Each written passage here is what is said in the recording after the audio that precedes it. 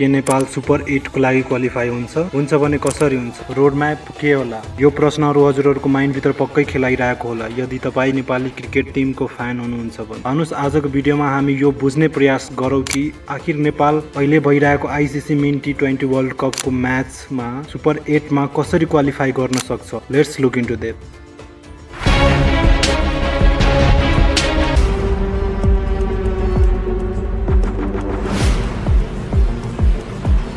अस्ति भर्खरै जुन बाह्र दुई हजार चौबिसमा नेपाल र श्रीलङ्काको म्याच थियो र त्यो म्याच पानी परेको कारणले एभेन्डन भयो र दुवै टिमले एक एक पोइन्ट पायो। नेपाल ग्रुप डीमा छ र group डीमा South Africa Bangladesh Netherland Nepal र श्रीलङ्का गरी पाँच टिम छ। जसमध्ये साउथ अफ्रिका अलरेडी सुपर एटको लागि क्वालिफाई गरिसक्यो र श्रीलङ्का वर्ल्ड कपबाट बाहिर पनि भइसक्यो। अब ग्रुप डीमा मात्र चार टिम छ जसमध्ये एक team South Africa already super एटको लागि क्वालिफाई भइसक्यो र अब बाँकी तिन टिम मध्ये एक टिम क्वालिफाई हुनेछ। नेपाल अहिले दुई खेलमा एक point lead minus zero point five three nine run रेटसँगै group डीमा चौथो स्थानमा छ। नेपालको दुईवटा म्याच युएसएमा भइसक्यो। अब बाँकीका दुई म्याच वेस्ट इन्डिजमा हुनेछ जसमा जसमा नेपालको प्लेइङ इलेभेनमा सन्दीप लामेसाने पनि खेल्नेछ। नेपाललाई क्वालिफाई हुनु छ भने आउँदो गेम जुन साउथ अफ्रिका र बङ्गलादेशसँग हुनेछ त्यस गेमलाई कुनै पनि हालतमा नेपाललाई जित्नुपर्छ र यी गेम जुन फिफ्टिन र जुन सेभेन्टिनमा जुन सेभेन्टिनमा हुनेछ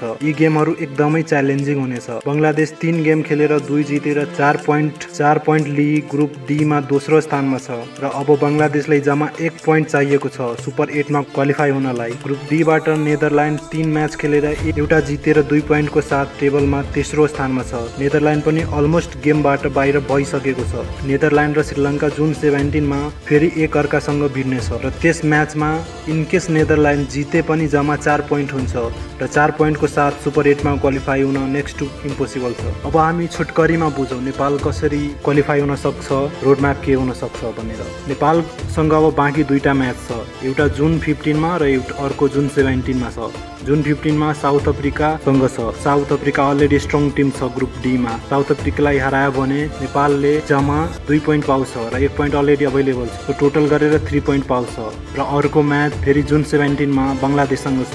जुन बङ्गलादेशसँग पनि अलरेडी चार पोइन्ट छ र नेपालले त्यो बङ्गलादेशको म्याच जित्यो भने नेपालसँग थ्री पोइन्ट पहिला पनि भइसकेको हुन्छ यदि साउथ अफ्रिकाबाट जित्यो भने। र त्यो थ्री प्लस बङ्गलादेशलाई हरायो भने टू फाइभ पोइन्ट हुन्छ र टोटल फाइभ पोइन्टको साथ सेकेन्ड स्थानमा ग्रुप डीबाट क्वालिफाई गर्छ। यी नै रोड म्याप छ। यदि नेपालले एउटा पनि म्याच हारियो भने या टाई भयो या त एबेन्डन भयो बारिसको कारणले गर्दा भने नेपाल पनि गेमबाट बाहिर हुनेछ। नेपालको बाँकी दुवै म्याच वेस्ट इन्डिजमा हुनेछ र जुन फिफ्टिनमा हुने म्याचको गुगलको विन प्रोभाबिलिटी हेर्दा साउथ अफ्रिकाले म्याच जित्ने चान्स नाइन्टी थ्री पर्सेन्ट र नेपालले म्याच जित्ने चान्स मात्र सात पर्सेन्ट देखाउँदैछ। तर एउटा खुसीको खबर छ नेपालको प्लेइङ इलेभेनमा नेपालको star player Sandeep Lamichhane playing इलेभेनको हिस्सा हुनेछ र सन्दीपसँग सिपिएल र अन्य लिगहरू खेलेको एक्सपिरियन्स छ।